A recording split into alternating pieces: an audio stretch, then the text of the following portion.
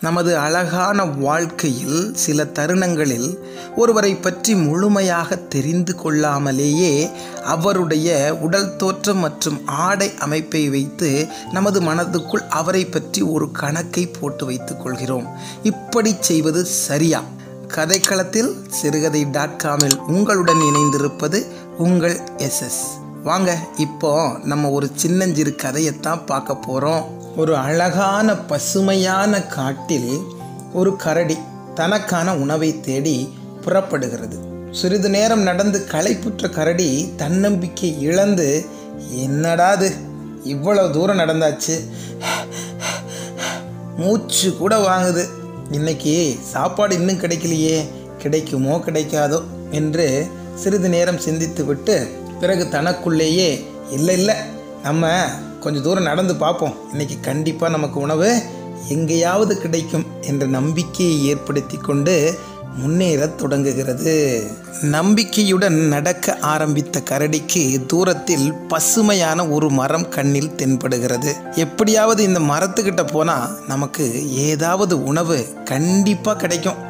போய்த்தான் பார்ப்போம். என்று அந்த பசுமையான மரத்தின் அருகில் கரடி சென்றது. நம்ம நினச்சது சரியாக தான் போச்சு. எப்படியோ இங்கே வந்தோம். இங்கே ஒரு அழகான தேன் கூடு இருக்குது இன்றைக்கி இந்த தேனை குடித்து நம்மளுடைய வயிற்றை நிறச்சிக்க வேண்டியதுதான் அப்படின்னு கரடி முடிவு பண்ணிடுச்சு. அந்த நேரம் பார்த்து அந்த தேன் கூட்டிலிருந்து ஒய் என்று அந்த தேன் பூச்சி வெளியில் வருது. தேன் பூச்சியிடம் கரடி சொல்லுது தேன் பூச்சி எனக்கு பசியாக இருக்குது இன்றைக்கி நான் உன் கூட்டிலிருந்து கொஞ்சம் தேனை குடிச்சிக்கலான்னு இருக்கேன் அப்படின்னு சொல்லுது. இதை கேட்டவுடன் தேன் பூச்சி கரடியாரே கரடியாரே நாங்களும் வயிற்று பசிக்காகத்தான் இந்த தேனை பல பூக்களில் இருந்து சேகரித்து எடுத்துகிட்டு வந்து இங்கே சேர்த்து வச்சுருக்கோம். நீங்கள் அதை எடுத்துட்டிங்கன்னா நாங்கள் எப்படி உணவு அருந்த முடியும்?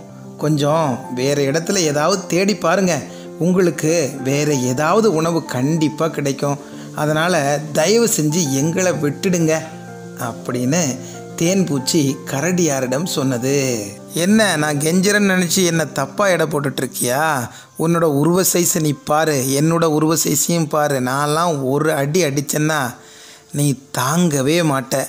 அதனால் என்னோட வழியில் குறுக்க நிற்காம தள்ளிப்போ சரி கரடியாரே. நீங்களும் சொல்லிட்டீங்க. நான் போயிட்டு என்னுடைய நண்பர்கள் மற்றும் உறவினர் தேனீக்கள்லாம் கூட்டில் இருக்காங்க. அவங்கக்கிட்ட சொல்லி கூட்டை காலி பண்ணிடுறேன். அதுக்கு பிறகு நீங்கள் வந்து சந்தோஷமாக தேனை குடிச்சிட்டு போங்க. சரியா? சரி சரி. போ. சீக்கிரம் போய் சொல்லு. வயிறு வேற பசிக்குது. சீக்கிரமாக காலி பண்ணி போங்க.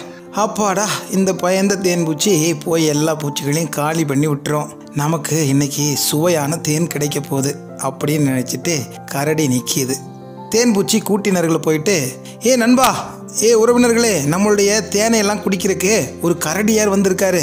அவர் எப்படியாவது இந்த தேனை குடிச்சே ஆகணும்னு சொல்லி அடம் பிடிக்கிறாரு. இன்னைக்கு நம்ம அவருக்கு ஒரு பாடத்தை கற்பித்து கொடுத்தே தான் ஆகணும். வாங்க நம்ம கும்பலாக கிளம்பலாம் அப்படின்னு சொல்லிட்டு எல்லா தேனீக்களும் வந்து நம்ம கரடியை கொட்டுது துரத்துது. பயத்தில் கரடி ஐயோ என்னை விட்டுடுங்க எனக்கு வலி தாங்க முடியலன்னு சொல்லிட்டு ஓடி போயிடுது. இவ்வாறாக இந்த கதை முடியுதுங்க. இந்த கதையின் கருத்து என்னன்னு பார்த்தீங்கன்னா don't judge a book by its cover அப்படின்னு ஆங்கிலத்தில் சொல்லுவாங்க. அந்த மாதிரி தாங்க ஒருவரை அவரின் உருவத்தை வைத்து எடை போடக்கூடாது என்பதையும் யூனிட்டி இஸ் ஸ்ட்ரென்த் அப்படின்னும் ஆங்கிலத்தில் சொல்லுவாங்க. அதாவது நீங்கள் தனித்திருக்கும் பொழுது பலவீனனாக தான் கருதப்படுவீங்க. நீங்கள் கும்பலாக ஒற்றுமையாக இருக்கும் பொழுதுதான் பலம் பொருந்தியவர்களாக கருதப்படுவீர்கள் என்ற இரண்டு கருத்துக்களையும் நம் முன் வைத்திருக்கிறது. என்னங்க? எல்லாரும் கதையை கேட்டுட்டு வந்துட்டீங்க போல? கதை அருமையா இருந்ததுங்களா? சரி உங்களுடைய கருத்துக்களை எனக்கு மறக்காம கமெண்ட் பாக்ஸ்ல பதிவு பண்ணுங்க. நான் இதற்கு மேல் இதே மாதிரியான வீடியோ கிளிப்ஸ் அதாவது என்ன சொல்வது காட்சி படங்களை கொண்டு காணொலியை உருவாக்கலாம் என்று இருக்கிறேன். ஸோ உங்களுடைய சப்போர்ட்டும் உங்களுடைய கருத்து கணிப்பு தான் எனக்கு ரொம்ப முக்கியங்க. அதை மறக்காம எனக்கு கொடுங்க. I hope you all enjoy this video I shall meet you in another video till then bye bye இது உங்கள் எஸ் எஸ்